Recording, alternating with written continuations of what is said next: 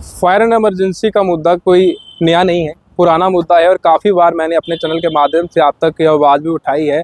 और अब इस समय जम्मू कश्मीर में सरकार बन चुकी है, तमाम एमएलए जो हैं वो नए जीत कर सामने आए हैं। अब इनको एक बार फिर उम्मीद जागी है कि हो सकता है अब जब असेंबली शुरू होगी तो उसमें इनका मुद्दा जो है उठाया जाएगा। मेरे साथ कुछ फायर एंड एमरजेंसी के एक्सपायरेंस हैं। इनसे बातचीत करेंगे। आ, सर आपसे जानना चाहेंगे। सबसे पहले आपका नाम जानना चाहेंगे और उसके बाद आपसे जानना चाहेंगे कि अब जो है असेंबली शुरू हो जाएगी। क्या लगता है आपका मुद्दा पहली असेंबली सेशन में जो है उठाया जाएगा? जी आ, मेरा नाम समीर अहमद है मैं डिस्ट्रिक्ट गांधरबल से बिलोंग करता हूँ। जैसा कि आप लोगों को पता ही है कि हमारा मसला कितना पुराना है। 2013 से हम लटके हुए हैं। अब 2020 में जो इसकी रिक्रूटमेंट है वो लास्ट वाली रिक्रूटमेंट हुई थी। उस टाइम यहाँ पे गवर्नमेंट जो थी एडमिनिस्ट्रेशन जो थी वो एलजी के हाथों में थी। सारा सारे पावर्स एलजी साहब के हाथों में थे। तो एलजी साहब ने कोई कसर नहीं छोड़ी कोई कसर भी बाकी नहीं छोड़ी हमें सोतेलापन दिखाने का।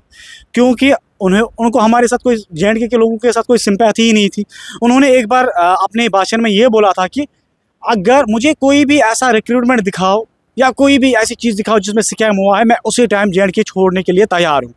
आपके सामने जल शक्ति का रिक्रूटमेंट स्कैम हो गया, आपके सामने एफ़ डबल का हो गया जे के पी एस आई का हो गया, और मदरा falls scam fire and emergency का हो गया तो छोड़ क्यों नहीं रहे हो? तो हमारे साथ ये सोतेलापन क्यों दिखा रहे हो आप? इतनी इतना खजल किया हमें सड़कों पे दर दर के ठोकरें हमने खाई जम्मू में प्रोटेस्ट किए, श्रीनगर में प्रोटेस्ट किए जम्मू में भूख हड़ताल पे बैठे हम, रमज़ान के महीने में नवरात्रि सारी यहीं पे गुजारी हमने भूख हड़ताल पे बैठे थे। तो आप हमें बताइए, अगर आज आर के गोयल साहब को सात महीने हो गए, तब से जब उन्होंने जो है वो अपनी रिपोर्ट सबमिट की तो आप रिपोर्ट पब्लिक डोमेन में ला क्यों नहीं रहे हो? आप ही वो इंसान हो लास्ट टाइम जिसके दौर में ये रिक्रूटमेंट कंप्लीट हुई थी आप ही ने उनके ऑफ़र लेटर्स भी दिए, आप ही ने उनकी परेड की पासिंग भी की। तो हम आपसे एक्सपेक्ट फिर भी कर रहे थे कि आप ईमानदार निकलोगे, लेकिन आपने किया क्या? रिपोर्ट आ गई आपके सामने, आप आ गई, आपके टेबल पे आ गई, आप उसको बाहर नहीं ला पा रहे हो। अब वो तो सिलेक्टेड थे, छोड़िए, खैर, वो तो सिलेक्टेड थे, उनको सिलेक्ट करके यहाँ पे लाया गया था। अब हमारे इलेक्टेड जो है एम चाहे वो जम्मू के हो या कश्मीर के हो, चाहे वो भारतीय जनता पार्टी के हो या जम्मू कश्मीर नेशनल कॉन्फ्रेंस के हो, चाहे वो पीपल्स डेमोक्रेटिक पार्टी को के हो या किसी अन्य पार्टी के हो।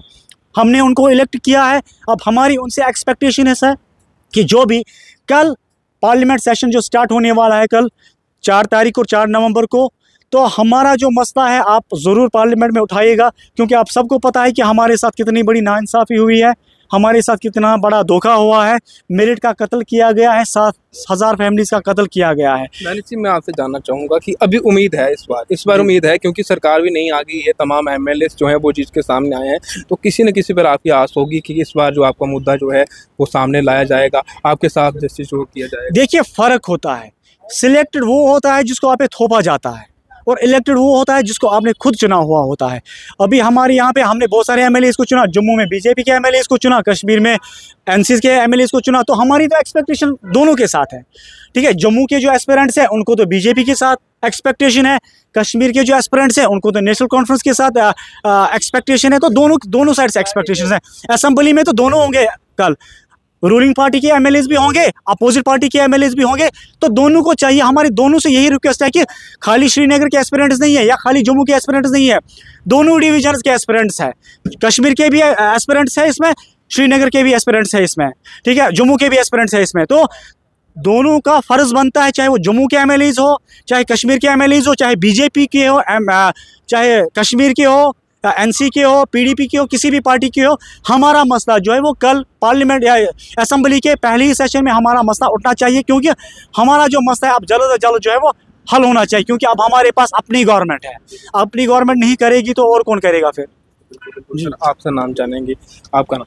मेरा नाम अमन है मैं जम्मू से रिप्रेजेंट करता हूँ। आपको लगता है कि इस बार जम्मू में जो है भाजपा जीती है उसके बाद अगर एनसी की बात की जाए लेकिन सरकार इस समय अलायंस की है।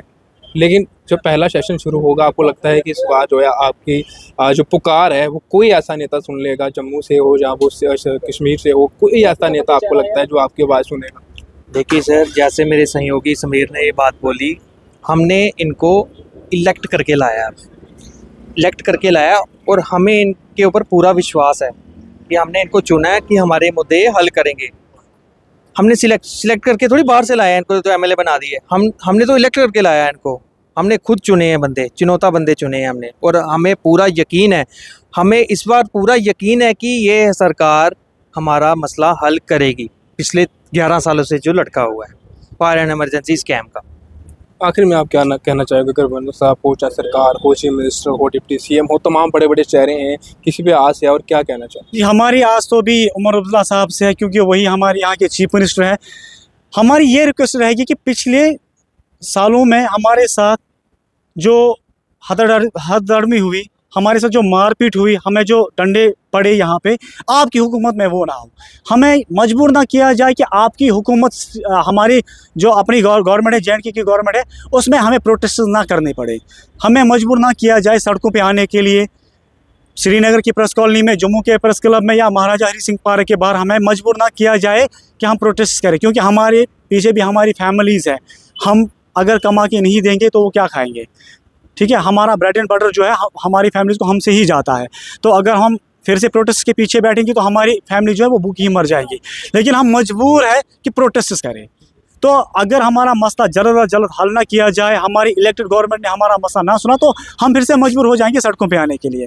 ठीक है तो हमारी यही रिक्वेस्ट रहेगी कि हमें मजबूर ना किया जाए, आप हमारे इलेक्टेड मेंबर्स हो इलेक्टेड एम एल हो ठीक है हमारे चीफ मिनिस्टर हो तो आप हमारा जो मसला है वो जल्द अज जल्द जो है वो हल करा दीजिए। उम्मीद है कि आपका मसला जो। है सेशन में उठाया जाए और आपके जो जस्टिस है आपको वो मिले।